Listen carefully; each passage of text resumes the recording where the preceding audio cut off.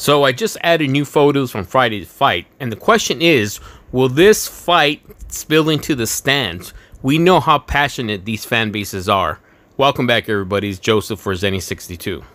So as we are well aware of that Gruden wasn't happy with the fights, he wanted more work to get in, but it seems to be coming from the Rams side of the field.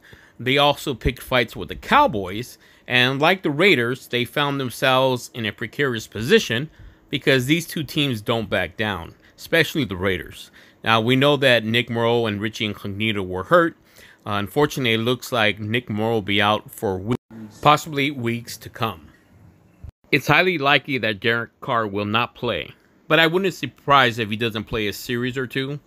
But I am looking forward to possibly having Marcus Mariota play the first half.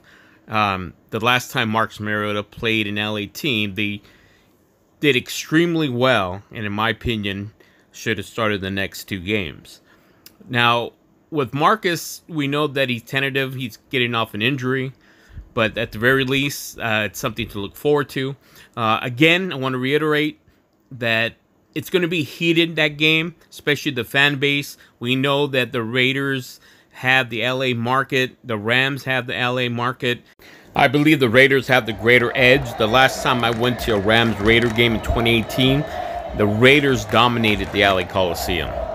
Whose house? The Raiders' house. Keep it here on Zennie62. Don't forget to like and subscribe. And before I let you go, check out these two videos that I posted the last couple of days.